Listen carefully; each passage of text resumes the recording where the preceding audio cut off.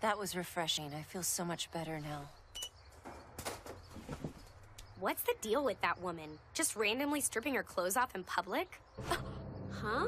It really happened to someone we know. How is that not freaky? The legend of the Andrestress who disrobes without warning. No, wait, that was just a story. Hello? Hey, Sissy, where are you right now? Are you busy?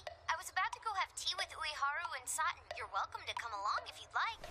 Well, the thing is, I'm stuck helping out this weird lady. Weird? How so? She started stripping off her clothes without any warning? She's stripping! It's the Andrestress. It has to be! Oh, no, let it go! Will you be okay? Please, could you two try to get it together? Text me her picture, okay? I want documentation. Get a grip, you guys. Don't go thinking she's something from an urban legend. She might seem a little odd, but I'm sure she's just an ordinary. You said somebody is odd? Is it me you're talking about? No, of course not. I mean, you did take off your shirt and. Well,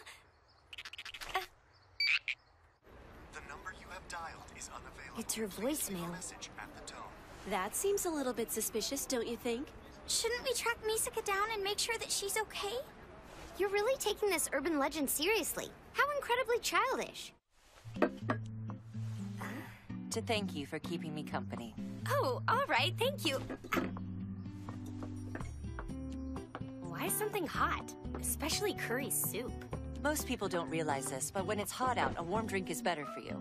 Also, curry contains special spices that help to relieve fatigue and rejuvenate the body. I think I understand the theory of what you're saying. But emotionally, I find a cold drink on a hot day more satisfying. So, Emotionally, huh? I suppose when you're younger, emotions tend to drive your decisions more than practicality. I'll get you something else. What would you like? oh no, please, that's okay. The sentiment is enough. Sorry about that. I tend to look at things from a logical perspective, maybe because of all the time I spend doing research. You do a lot of research? Are you some kind of scientist then?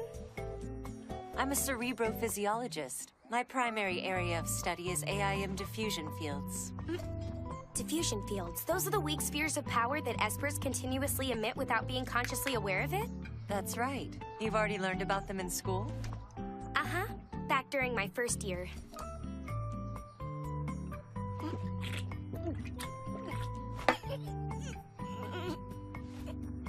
They told us the fields are so weak they can't be detected with human senses and have to be measured using specialized devices.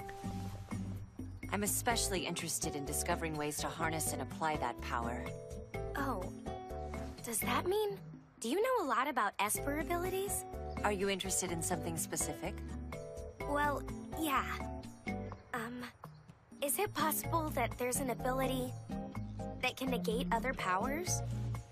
Well, there are so many different abilities out there. Can you give me a clearer example of what you're describing? Let's say someone was hit with an electric shock and it had no effect. An electric shock, huh? Maybe this person generated something to act as a lightning rod and deflected the electrical current? It's something different than that. I'm not really sure how to explain it. Is this person an acquaintance of yours? Oh, no! It's an urban legend my friends were talking about. It's ridiculous. I shouldn't have said anything. An urban legend, huh? Is that the kind of thing children are interested in these days? I know it sounds silly, but there are quite a few of them going around. You know, like the Undrestress? Undrestress? No, never mind. Forget I even mentioned it.